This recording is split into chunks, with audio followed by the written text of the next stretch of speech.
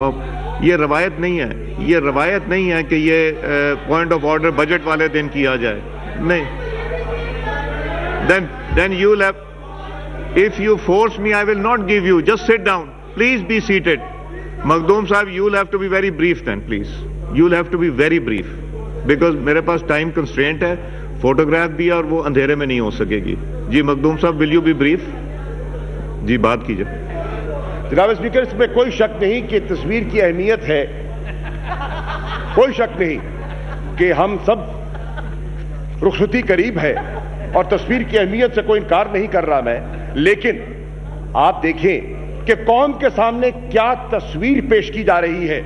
اور یہ قائد حزب اختلاف پیش کر چکے ہیں کہ کتنی ستم ظریفی ہے کہ ایک elected member of the national assembly جو minister of state for finance ہے، اس کو درگزر کر کے آپ ایک ایسی شخصیت کو بجٹ پیش کرنے کی اجازت دیں جو نہ اس ایوان کا ممبر ہے، نہ نہ سینٹ کا ممبر ہے۔ یہ کیا روایات قائم کر رہے ہیں؟ پاکستان کی تاریخ میں ایسا نہیں ہوا اور اور میں سمجھتا ہوں، میں سمجھتا ہوں اس کی اجازت ہر کس نہیں۔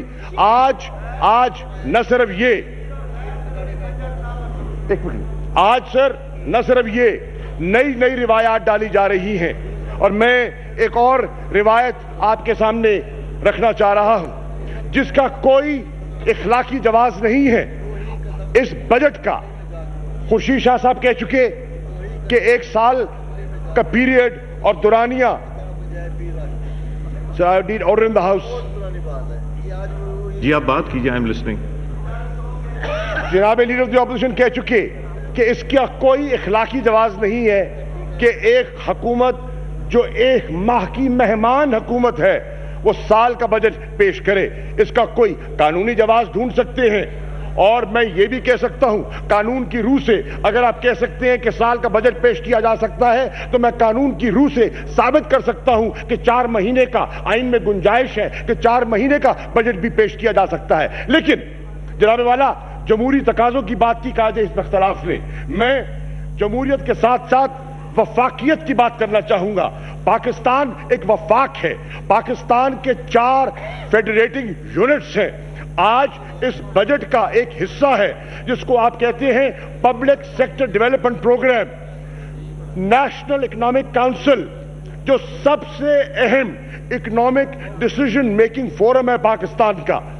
اس کی روحداد قوم کے سامنے ہے۔ نئی تاریخ رقم کی جا رہی ہے۔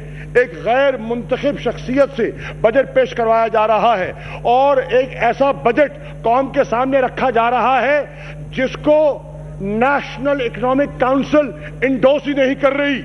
چار فیڈریٹنگ یونٹس ہیں اور ان چار فیڈریٹنگ یونٹس کے تین وزرائے اعلی، سندھ کے وزیر اعلی، بلوچستان کے وزیر اعلی اور خیبر پختونخوا کے وزیر اعلیٰ تینوں اس اجلاس سے واک آؤٹ کرتے ہیں۔ تیرہ ممبرز کی کانسٹیٹیوشن ہے۔ نو لوگ موجود ہوتے ہیں۔ چار واک آؤٹ کر جاتے ہیں اور پنجاب کے وزیر اعلیٰ اس میں پہلے جا چکے ہوتے ہیں۔ یہ کیا کر رہے ہیں؟ فیڈریشن ہے۔ فیڈریشن کی اکائیوں کے آپ ڈیولپمنٹ پبلک سیکٹر پروگرام کا اپروول لے رہے ہیں۔ اور پھر کہا گیا اور مجھے پسند احترام میں کہنا چاہوں گا مفتہ بھائی سے۔ آپ کا میں نے بیان پڑھا اور مفتہ صاحب فرماتے ہیں اٹس ناٹ مینڈیٹری حضور والا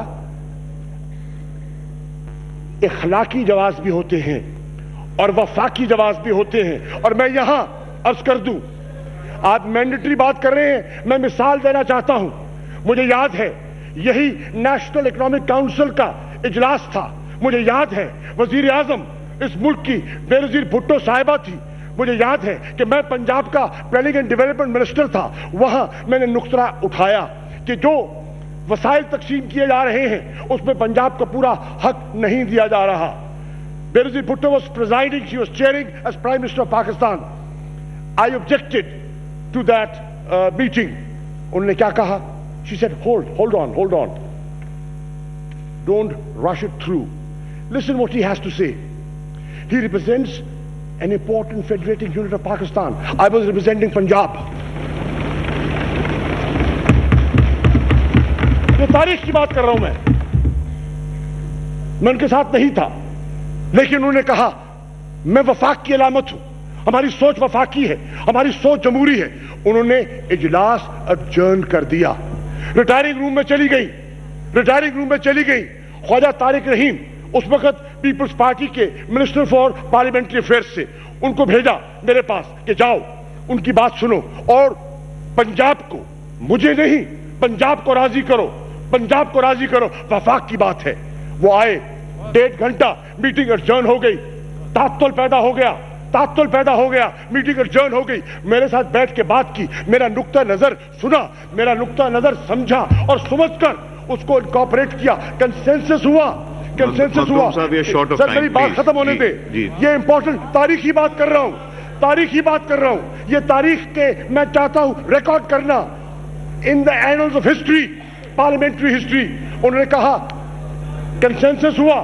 کنسنسس کے بعد اجلاس ریکنوین ہوا اور public sector development program pass کیا گیا جس کو چاروں صوبوں نے اور چاروں وزراء اعلیٰ نے انڈوس کیا۔ میں آج پوچھ رہا ہوں، میں آج پوچھ رہا ہوں، یہ کیسی حکومت ہے؟ یہ کیسی جمہوریت ہے؟ یہ کیسا وفاق ہے کہ آپ کے تین، میں ایک تھا، میں ایک تھا، آج تین ہیں۔ تین صوبے چلا رہے ہیں۔ وہ عدم اعتماد کا اظہار کر رہے ہیں۔ اس پبلک سیکٹر ڈیولپمنٹ پروگرام پہ، اس بجٹ پر عدم اعتماد کا اظہار کر رہے ہیں۔ اور آپ اس کو بلڈوز کرنا چاہتے ہیں۔ اس کو بلڈوز کرنا چاہتے ہیں۔ جناب والا، یہ بالکل مناسب نہیں ہے۔ پھر آپ کی سٹینڈنگ کمیٹی چھوڑیے میں رانا صاحب ہمیں آپ سے ہمدردی ہے۔ ہمیں آپ سے ہمدردی ہے۔ بالکل میں آج کہتا ہوں جہاں جہاں پاکستان میں پاکستان کی سیاست میں سیاسی شہیدوں کا نام لکھا جائے گا تو پارلیمانی شہید کا نام کا اضافہ ہو گیا آج۔ آج ایک اور پارلیمانی شہید خزانے کا شہید خزانے کا شہید نام آ گیا اب اللہ نہ جناب والا کرے کہ وہ شہید ہوں ابھی ابھی زندہ شہید ہوں تو بہت بڑا. رتبہ ہے.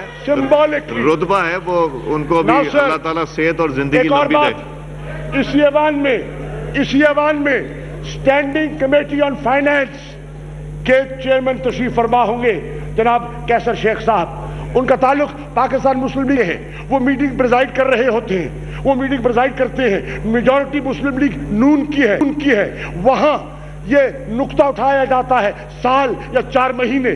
قانونی غیر قانونی اخلاقی غیر اخلاقی اور وہاں standing committee on finance and economic affairs جس میں پی ٹی آئی کی نمائندگی اسد عمر کر رہے تھے۔ وہاں وہ سٹینڈنگ کمیٹی مسترد کرتی ہے۔ آپ کی ایمنسٹی سکیمیں جو آپ نے جن کا اعلان کیا، جس کو اپوزیشن نے نہیں فائنینس کمیٹی نے